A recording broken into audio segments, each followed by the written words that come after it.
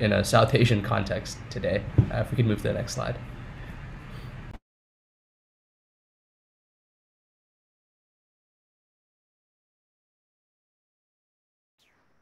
Okay, and then so what is cyber warfare?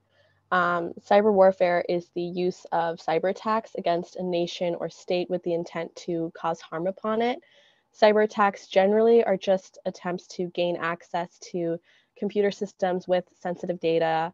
Um, and then we have some examples listed there at the bottom of the slide. Um, viruses, which can take down critical infrastructure, um, attacks that prevent legitimate users from targeting computer networks and devices, um, hacking and theft of critical data from institutions, governments, businesses, and propaganda or disinformation campaign, ca campaigns used to cause serious disruption or chaos um, in a country. Usually they're like related to like politics in the, in the country.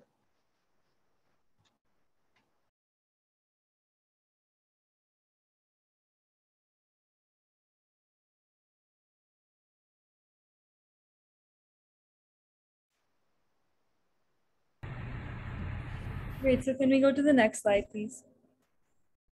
So why are these issues important? Uh, the global cyber threat continues to evolve at a rapid pace, and there are a lot of rising number of data breaches each year. And the main issue with this is that cyber criminals can collect medical, financial, business, and governmental data. And these can threaten a lot of existing systems that we have, both in the public and private sector.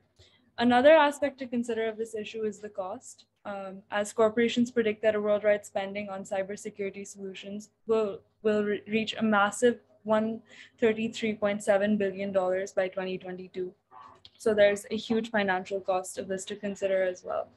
So having the background of these issues in mind, um, it's going to be very helpful to consider these factors um, once our panelists come, and they should be here shortly.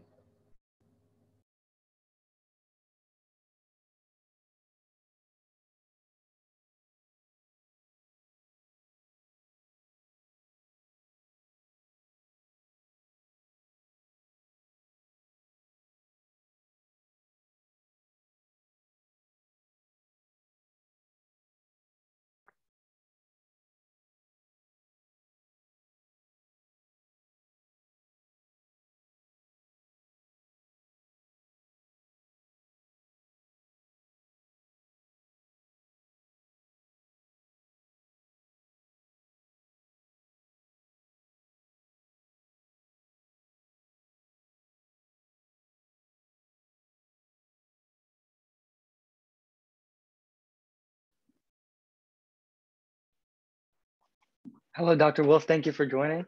Hi, sorry I was running a little late. I hope you went ahead and got started without me.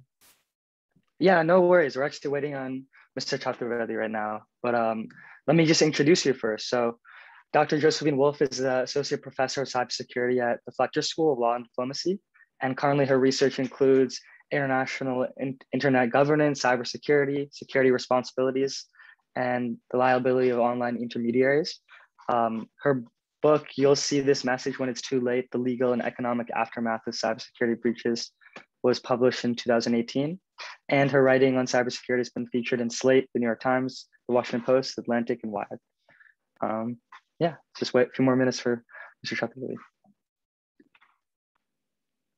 Oh, he's here. Um, welcome, Mr. Chaturvedi. Hi, good afternoon. My apologies. I had some trouble dialing in uh, this morning. Absolutely no worries.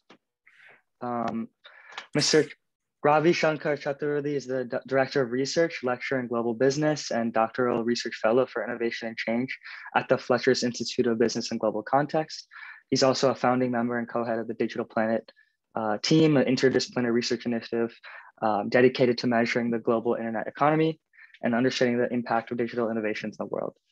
Um, thank you so much for you both and your time. Um, I'd like to now ask both panelists to present their opening remarks. Um, if you could keep these to about two minutes, that'd be appreciated. Um, let's start with you, Mr. Chaturvedi. Oh, I was actually hoping you would you would start with Professor Wolff. Uh, but uh, hi, Professor Wolff. How are you? Great to see you again. Um, well, first of all, thank you very much for uh, having uh, uh, having me uh, join this panel. I what I thought I'd probably do is set some context, uh, specifically given that this is really uh, about South Asia, and if I'm able to share my screen, what I would like to do is kind of walk us through what the digital context of you know from an evolutionary perspective, where do you know at least four uh, four of the biggest uh, you know countries in South Asia: India, Pakistan, Bangladesh, and Sri Lanka. Uh, where do they stand uh, in uh, you know on on various aspects of uh, you know various foundational aspects that inform their digital journeys? so if I can share my screen real quick. Um, there you go. I think I can. Bear with me just one second. Let me just um,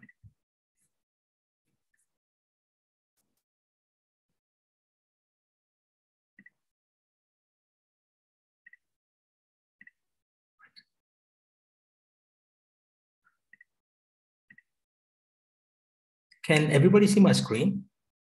So uh, I will yeah. drop links to this. This is the digital intelligence index that uh, that we developed, and several of you, uh, I'm, I'm hoping at least from the undergraduate uh, program, uh, are a part of the part of our digital uh, intelligence digital planet research program. Um, what we do, what this is, and what you're all seeing is a study that we do looking at the digital evolution uh, of 90 countries around the world. Uh, and uh, on, on the y-axis here is uh, the state of digitalization, which is informed by four, uh, you know, four major sort of factors, uh, you know, conditions of demand, you know, which include all aspects of digital consumption, the readiness and sophistication of consumers, what kind of digital uptake there is in, in the country, et cetera, et cetera conditions of supply, uh, what kind of infrastructure exists, uh, not just hard infrastructure, uh, you know, which is uh, telecommunications, et cetera, et cetera, all kinds of soft digital infrastructure, uh, and so on and so forth. Uh, and then looking at institutions, to what extent are institutions enabling digital progress? you know, what is the core law and order function of a country? Are institutions enabling, you know, you know, are, are they market friendly? Are they enabling uh, you know, businesses to take root and, uh, and so on and so forth. And more importantly, uh, how are institutions uh, primed uh, to advance their digital economies? so that is yet another sort of factor. The, the, the fourth factor is innovation and change that is happening either because of or in spite of these, these you know, the other forces that I, that I just outlined. when we combine those, what you get is uh, the state of digitalization of a country, uh, which is uh, the y-axis that you see, and then the rate of digitalization, how have countries been progressing over time. Uh, and this is 12 years of uh, data all the way from 2009 to 2019, 160 data points, you know, comparable across these 90 countries over 12 years. So that's a, that's a pretty powerful data set that you're seeing uh, crystallized in here uh, for us to see. Now, if I punch in uh, the four countries that we mentioned, India, uh, Bangladesh, Pakistan, and Sri Lanka,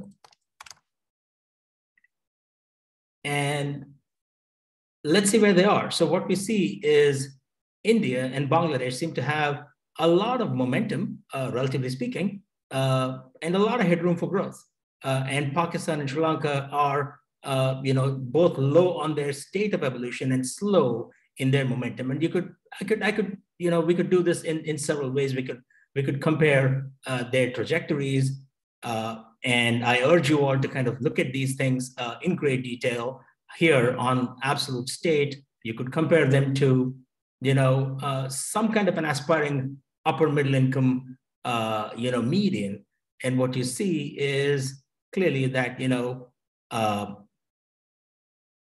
all countries have, you know, uh, lack a certain amount of demand sophistication. Uh, or, you know, some countries have, you know, India especially has made a lot of progress on uh, on its institutions. Still a lot of headroom for growth on demand uh, and and there is a there is a gap uh, that they can fill on supply infrastructure.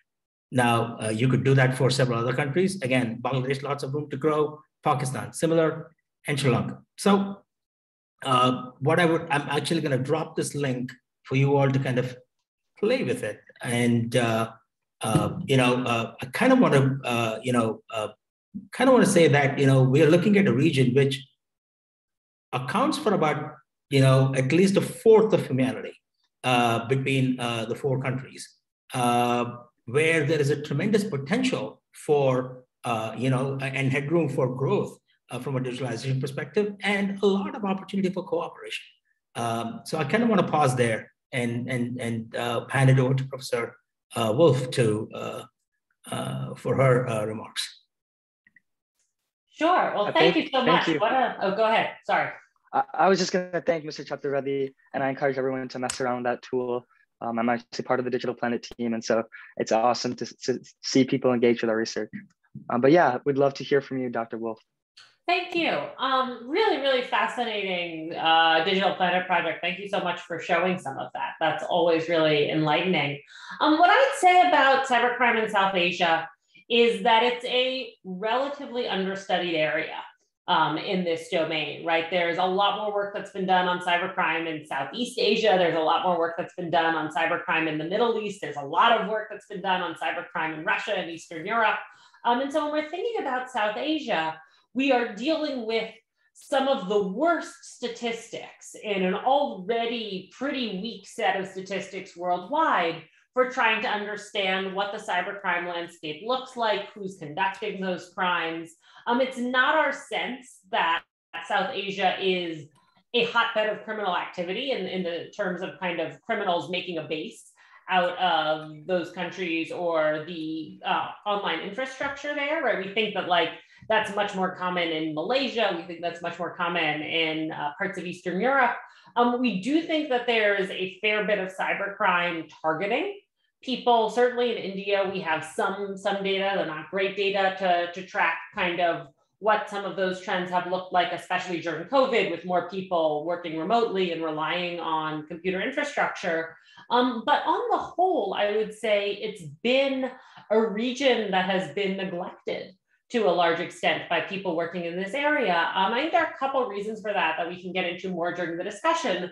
Um, but I would say it's a combination of perhaps slightly slower rates of internet penetration, in which you don't see sort of either a huge target uh, for criminals or a kind of important intermediary hop point for criminals there. Um, and also a kind of interesting set of internet policies that don't necessarily make it a very conducive region to setting up a lot of criminal enterprise there.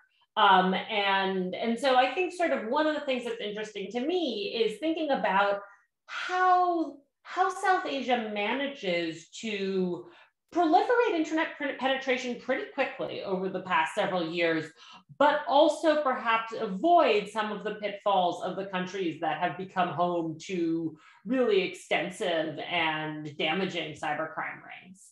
Um, and, and that's one of the things I hope we'll explore a little bit today. Thank you so both so much. I, sorry, go ahead. Uh, Jiman, you were saying. Please, please interject. I, I was quick. No, I was I was about to uh, you know uh, nod uh, in in in agreement with everything that Professor Wolff said. Uh, when when Professor Wolff you mentioned that uh, Malaysia is a bit of a hotbed, uh, it took me back to uh, my own days back in when I used to run payments businesses in the region. When whenever uh, card skimming uh, for credit card skimming was was was a you know rife in Thailand and Malaysia, whenever our customers would travel to that region, we'd replace their cards because, uh, you know, uh, likely their cards would have been compromised. So it looks like they've advanced uh, on that front. Um, and uh, I, I, also want to uh, agree with Wolff's comment about institutional barriers. Uh, the very barriers, ironically, that inhibit digital progress in the region seem to be inhibiting criminal activity as well and that's a bit of a bit of an interesting uh, uh, angle there. Uh, go ahead. Yeah, no, I'd just like to thank you so much uh, for those introductory remarks um, and like to pass it on to Akash now uh, for the moderate section. Thanks, Jivan, and thank you, Mr. Chaturvedi and Dr. Wolff. Um, I actually am really curious um, a little bit about what specific barriers you might see um, that have both inhibited digital progress in South Asia, but that have also inhibited inhibited cybercrime activity. But I, before we get to that, I want to ask just a couple of general questions um, for those attendees who maybe are not so familiar with the cybersecurity landscape globally, um, and then we can zoom in really quickly on uh, on South Asia. Um, but for those of us um, in the Zoom call who might be a little bit unfamiliar with some of the challenges that we're seeing in 2021 in cyberspace, um, what are those challenges? You know, are we looking at a lot of state-sponsored activity? Are we looking at a lot of cybercrime activity? Um, can you sort of give us a lay of the land of, of uh, cyberspace in 2021, really? Sure. Um, I'll, I'll take a stab at it first, and you can add anything I've forgotten. I think when we look at the lay of the land right now, we're seeing a pretty significant combination of state actors and non-state actors. Um, what I would say is sort of important to keep in mind about the non-state actors is that in many countries, in almost every country where there's a sort of significant cyber criminal organization operation, those crime rings are being tolerated or supported or actively promoted in some cases by the governments in most of those places, right? There's, I would say, nowhere that you have a massive cybercrime operation that the local government is actively trying to stop because we actually can do that, right? You know, we, we do have the tools to track down large financially motivated cyber criminal operations um, if they are within our borders and our jurisdiction. Uh, so right, Russia would be kind of the classic example of this, where you see some private criminal entities operating at very large scale, independent of the government, but in various degrees of cooperation or, you know, willingness to look the other way, at least, right? And in contrast to that, if you look at a country like China, you see a lot of cyber activity, certainly, right? Some, you know, very significant espionage uh, capabilities, but much less privatized sort of criminal stuff happening around the edges.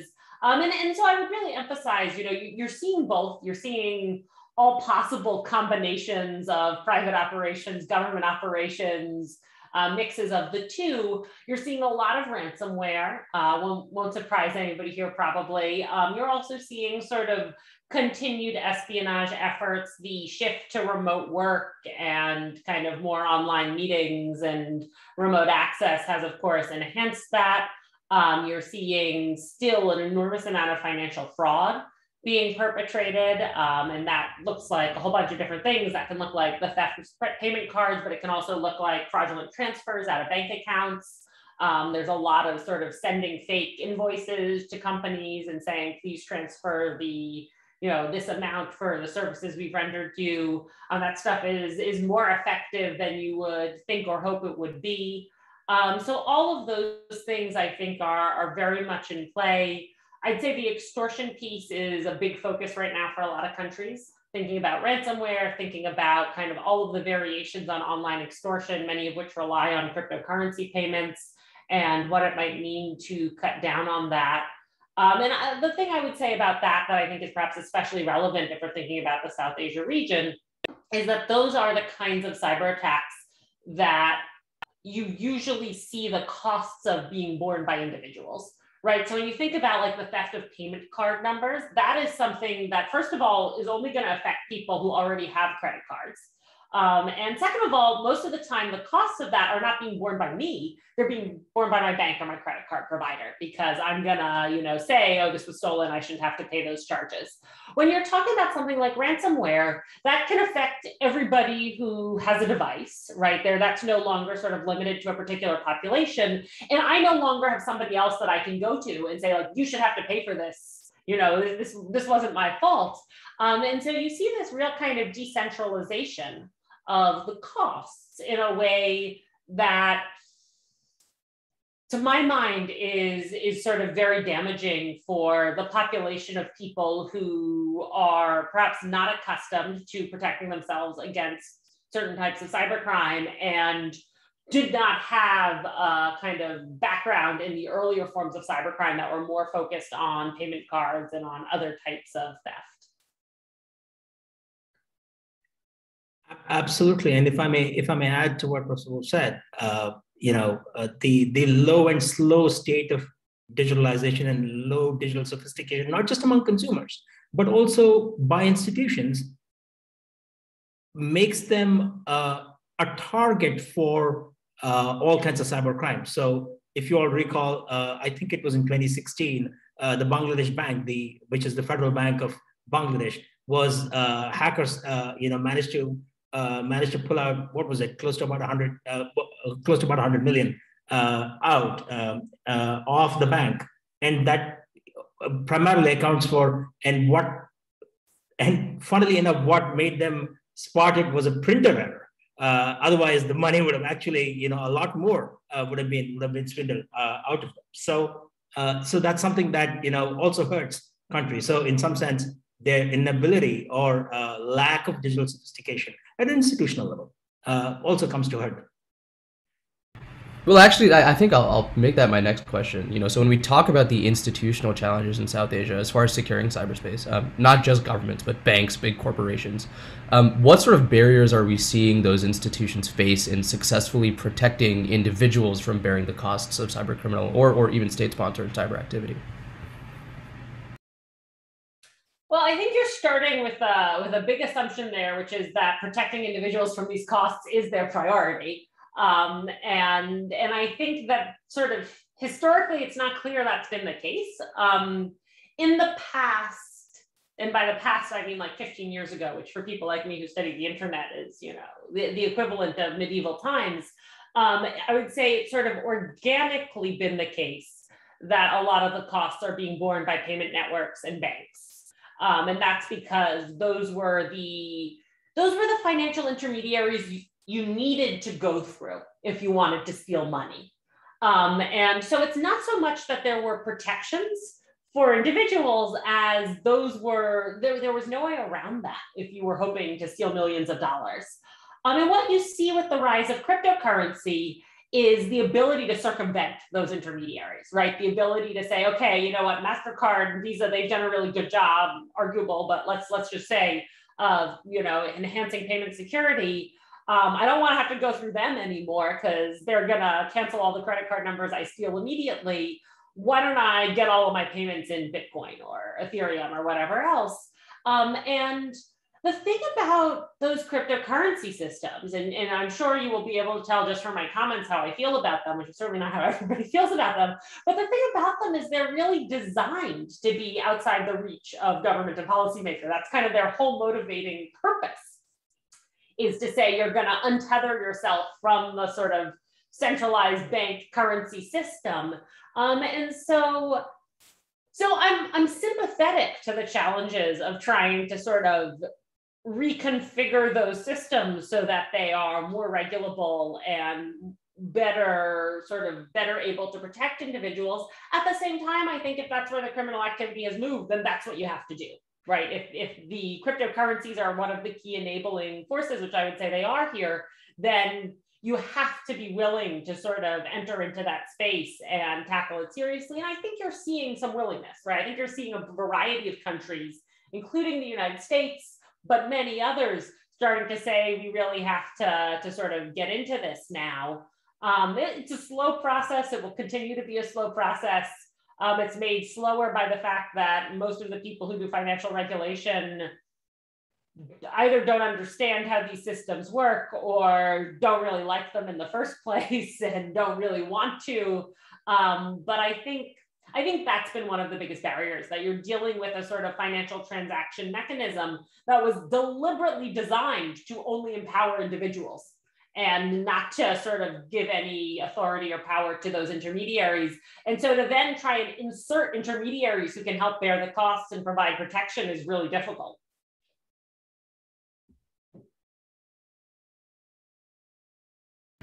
Thank you. Yeah. Um, okay. So I will ask the last question that that we had sort of in our general overview section, and it's you know we've talked about a lot of threats um, that have sort of generally existed in cyberspace. If you had to pick maybe one or two that are most directly relevant to, to individuals and institutions in South Asia, what would you say are you know, one or two things we should keep our eye on in the next two or three years um, that might directly target South Asia?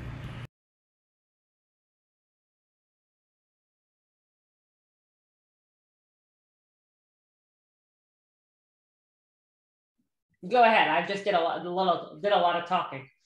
I um, I'll, I'll, take the first shot at it. Um, so, of uh, so one one threat that you know uh, I personally see is the development of uh, again uh, from a consumer perspective.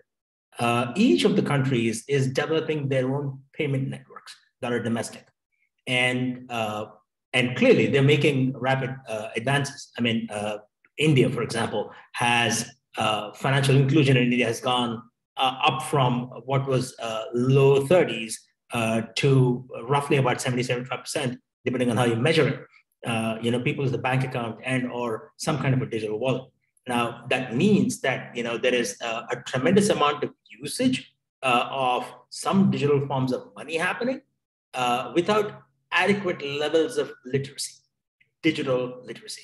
Uh, so what that ends up creating is uh, vulnerability uh, at, a, at a very large on a, on a very large surface area of consumers who probably don't know enough about how to protect themselves uh, and the lack of institutional mechanisms that uh, that protect consumers. So that's one. The second is these payment systems and you know and rails in and of themselves that are domestic in nature they are again connecting it back to my earlier observation about how the Bank of Bangladesh uh, was victim uh, of a uh, cyber, uh, you know, um, cyber uh, theft activity uh, or, or, hacking activity. these payment systems, insulated as they are from the global system, means that they are more vulnerable. so the lack of, you know, and and big networks, uh, global networks, uh, be a SWIFT, a Visa, MasterCard, whoever, uh, whoever it is, uh, folks who are engaged in moving money around the world have capabilities that uh, you know can identify uh, you know threats coming from the outside. insulated payment networks, you know, or insular rather payment networks, uh, tend to become uh, you know very attractive you know targets for cyber criminals uh, looking for uh, an opportunity. So those are at least two that come to mind. Uh, I'm, I'm curious to hear what Professor Wolff thinks. So if I'm thinking about kind of two or three things to, to keep an eye out for, to, to work on, I think for me, one, as you've just heard me talk a lot about, is the cryptocurrency ecosystem and sort of what it would look like to try and impose some of the same anti-money laundering, know your customer requirements on the cryptocurrency exchanges that turn fiat currency into cryptocurrency and vice versa.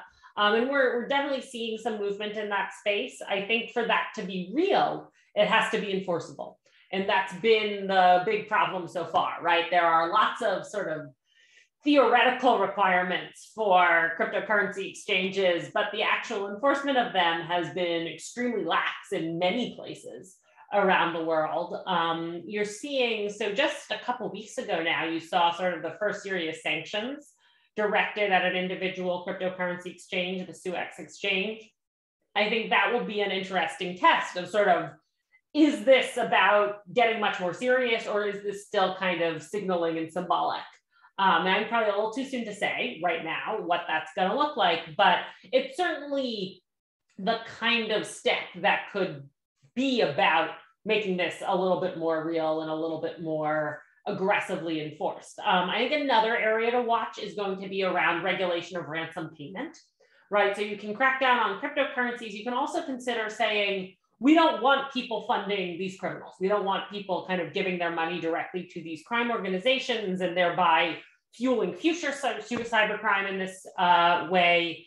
And I think a lot of regulators are sort of thinking more and more about what are the circumstances under which they think it should be legal for ransoms to be paid and what kinds of restrictions might crop up around there. I think that would be another thing to pay close attention to. And then the third one, and this is a really basic one, but really important, and maybe especially important for South Asia, where, as I said, we've got you know very few good statistics, very little good data about what the crime landscape actually looks like.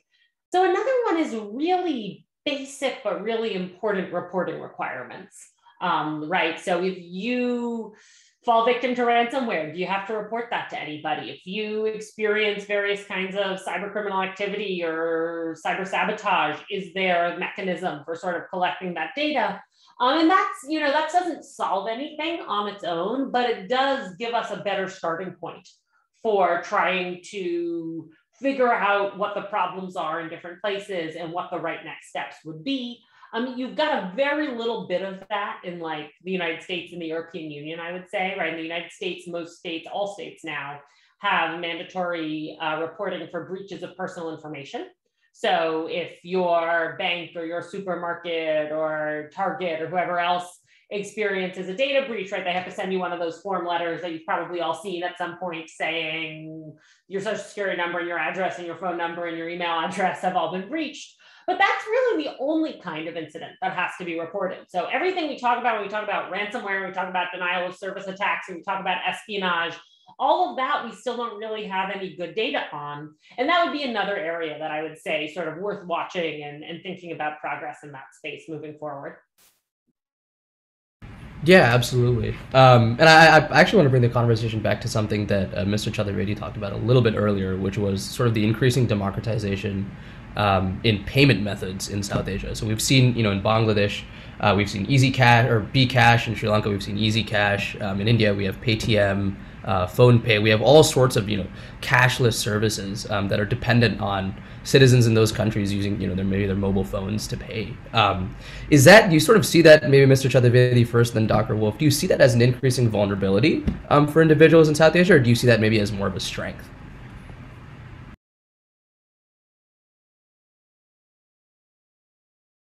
Well, I was actually hoping to pull up another uh, trend line, but uh, uh, to answer this question, uh, it is both, right? It is both a strength and a vulnerability.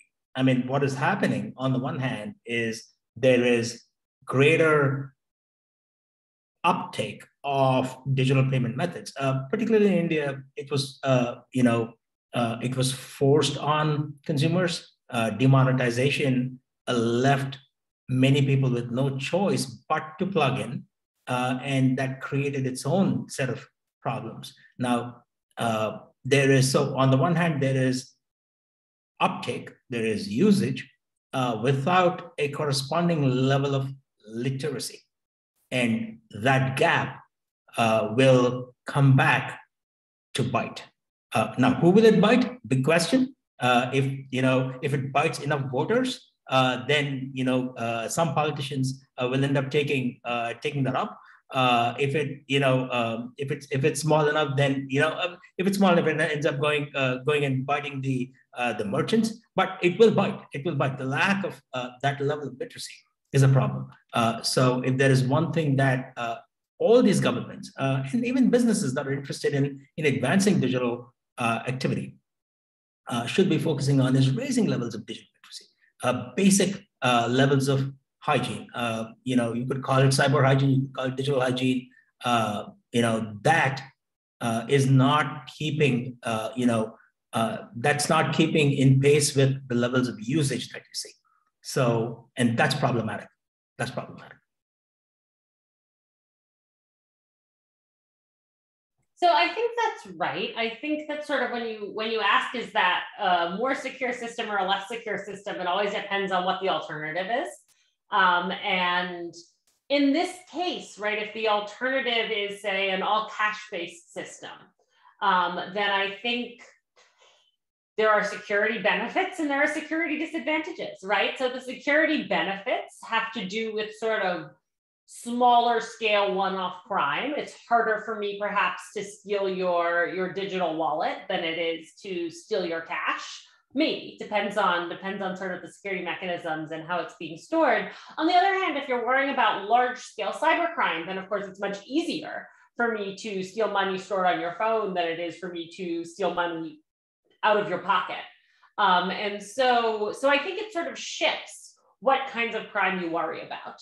Um, and and that can be good or bad. I think the advantage to it from a from a security standpoint is you've inserted more of those intermediaries I was talking about, right? So all of those companies you've just named now have some role and some potential kind of security that they can provide, um, it, it sort of gives me somebody to go to if my money is stolen and say, what happened? Can you make me whole again? Whereas if it's just kind of my money is, taken out of my house or off my person, then you don't really have that in the same way. Um, but I think that depends a lot on who those intermediaries are and how much security and help they're actually providing. Um, and so it, it, you know, really depends on what are the guarantees that they can make to their customers and how much do they have by way of safeguards for any kind of theft or, or financial crime. Mm-hmm. And I think actually we, we see a couple of I see a couple of follow up questions in the chat that hopefully we'll get to in a few minutes um, about sort of that gap in digital literacy and how that might impact individuals bearing the brunt um, um, of sort of that activity in cyberspace. Um, but before we get to those questions, I want to zoom. I realize I'm jumping around a little bit between topics, but I want to come back to something we touched on very briefly um, at the at the beginning of the general questions, um, which was state sponsored activity. and you know we have seen all of us I think have seen the flashy headlines. You know Russia is involved in the 2016 election election. We saw some intervention by Iran, I think, in 2020. Um, you know, many of us have read uh, all across the news that there's some sort of flashy state-sponsored cyber activity going on. Going on. Um, but we haven't really seen that in South Asia. Um, and I, I kind of want to ask first, you know, we've seen North Korea, China, Iran, to some extent the United States, Russia develop offensive capabilities in cyberspace, and we've seen them deploy those capabilities. Do you see that on the horizon for states in South Asia developing those offensive capabilities in cyberspace? Um, and sort of on the flip side, do you see South Asian countries as victims of offensive capabilities of other countries? Uh, I guess maybe we can start with Dr. Wolff and then move to Mr. Chaturvedi. So I would say at the moment, and all of this could change, I don't see them as very big victims. Um, I think the reason is that there is much less online infrastructure in a lot of these countries than in the, the places that we typically think of being as the prime targets, North America, Western Europe, right? You, you are much more of an attractive target the more that your electric grid has been brought online, the more that your critical infrastructure is networked.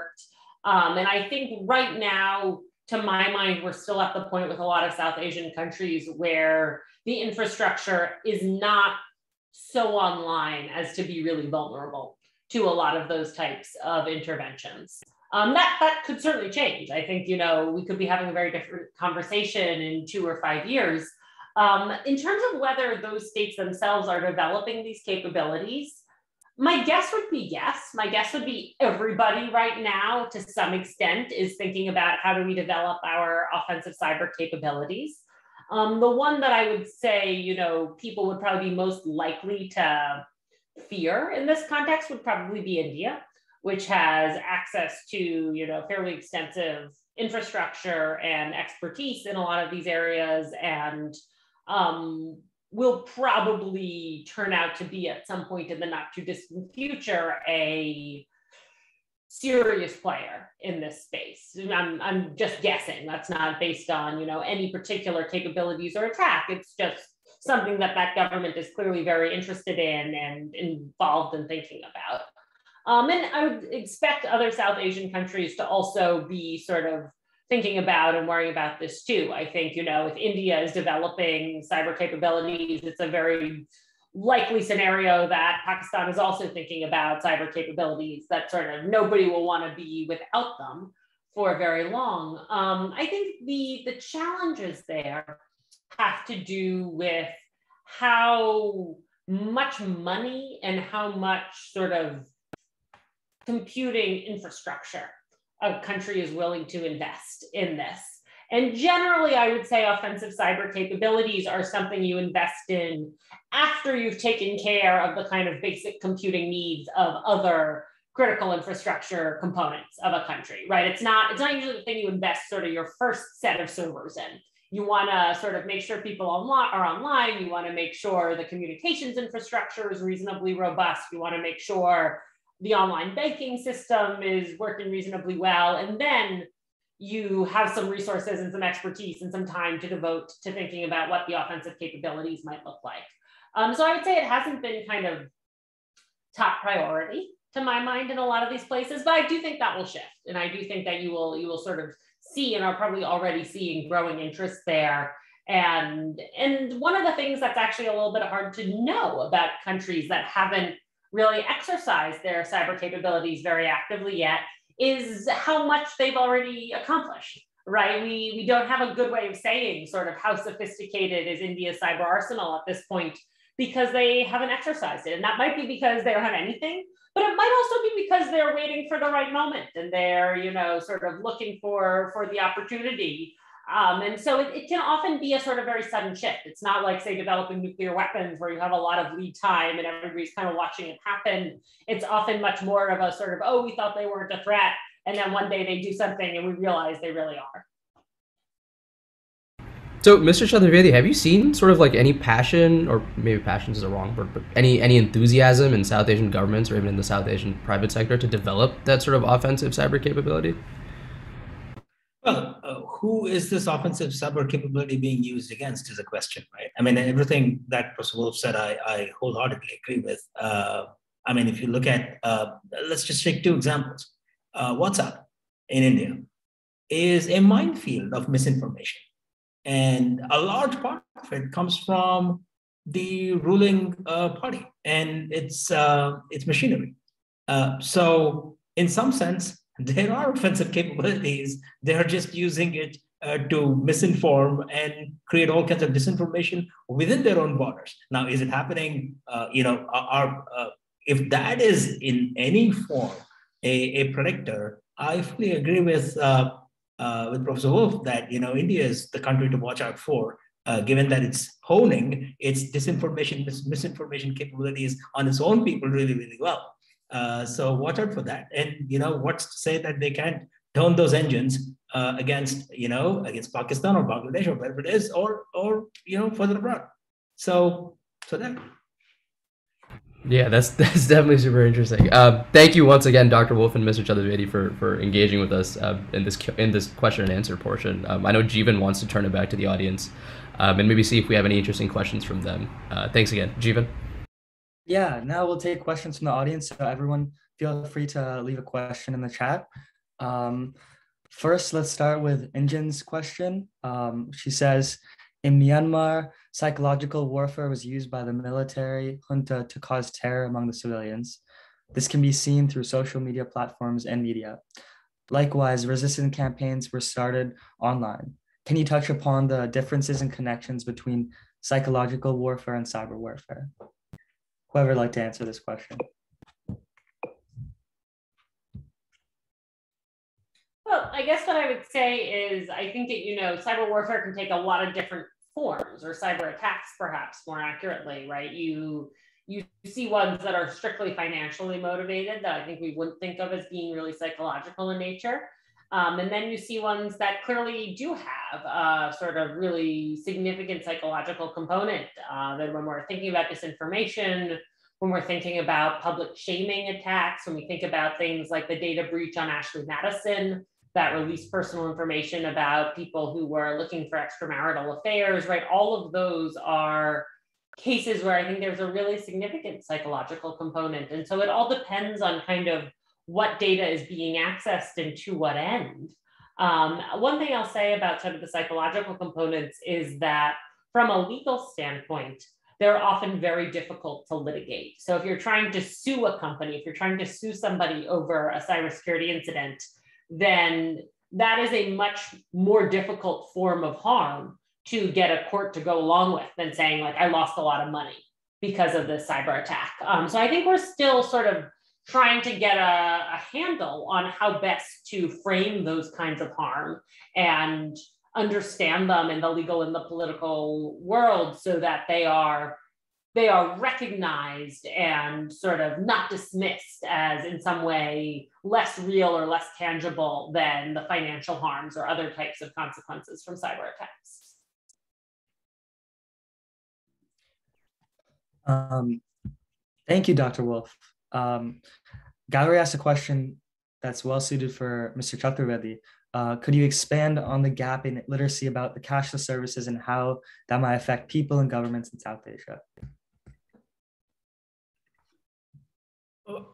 How does lack of uh, literacy in usage affect governments and people? I mean, uh, so if you think about this, uh, sure. I mean, on you know, on the big difference, and let's just take two large large countries, the United States and and India, right? So if you were to, and and there are any number of scams that happen on you know uh, old uh, older uh, folks living in America, you know, taking their social security numbers and and and you know and and or you know um, uh, stealing from their bank accounts and so on and so forth. Now, what you need in a place like the United States is it's for you know even if you even if you get to 100 if you're a cyber criminal and you get to 100 of them and you take about $5000 from each of them that's a pretty large you know uh, heist for lack of a term. Now in a place like india i could probably just get five cents out of every customer but there are 500 million of them.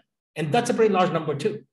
And that five cents is a lot of money for somebody who's living on two dollars a day and if those people are you know plugging into the digital economy without adequately knowing how to safeguard their, you know, uh, uh, their savings. That's problematic. So how could it affect them? It could affect them deeply. Uh, and it is incumbent not just on the governments, and governments can't do everything, right? I mean, they are on the one hand, they are, you know, there are so many priorities. What are they going to do? Uh, you know, give out COVID vaccines, or uh, you know, build roads, or you know, uh, uh you know, uh, uh, build schools.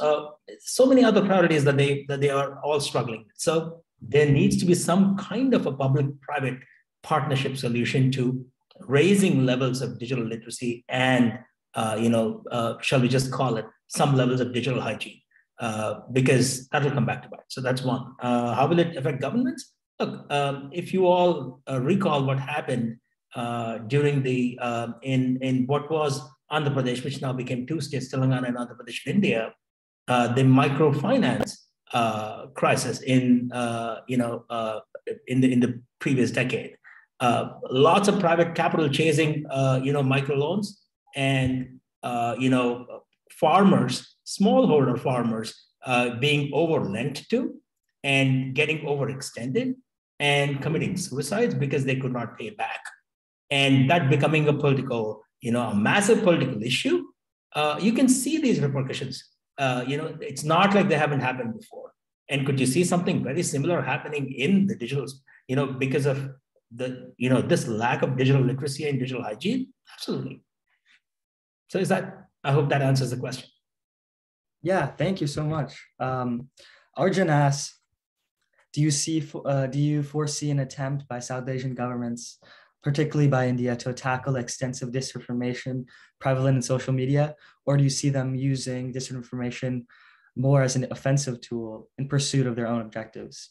Uh, Dr. Wolff, if you have a comment.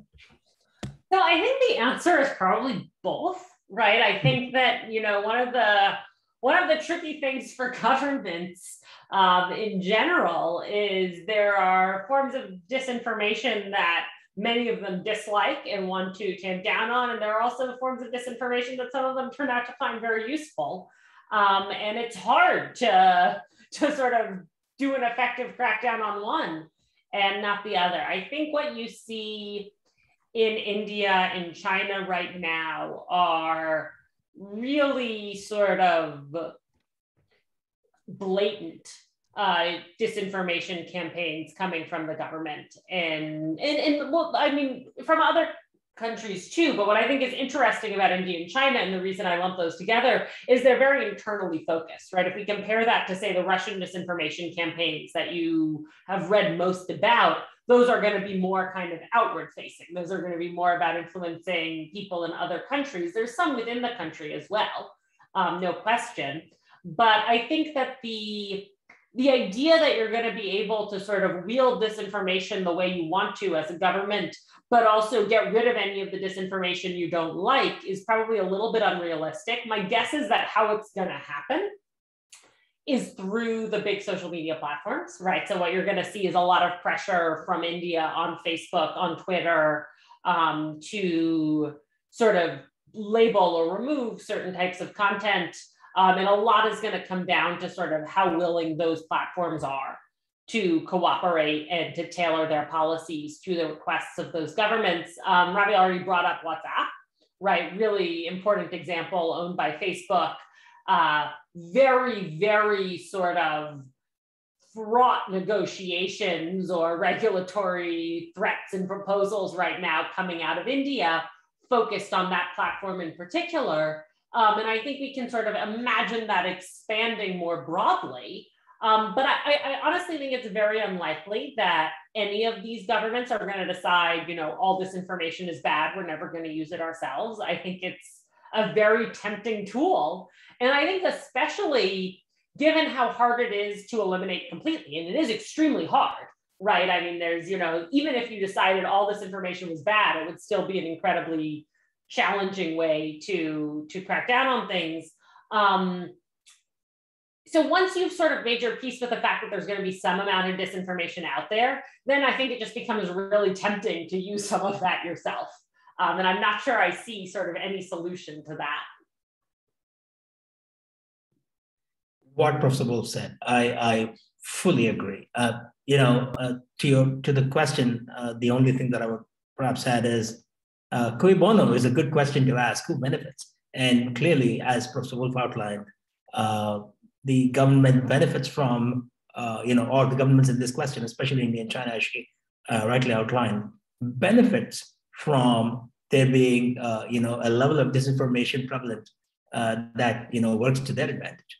So where's the incentive to, to stamp it out? Thank you for those insights. Um, we have time for one more question. Um,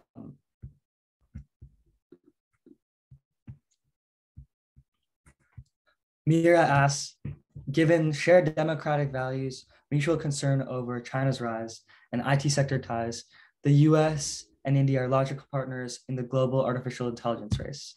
How can the Biden administration best position itself for successful AI cooperation with India? Uh, we'd love to hear from both speakers.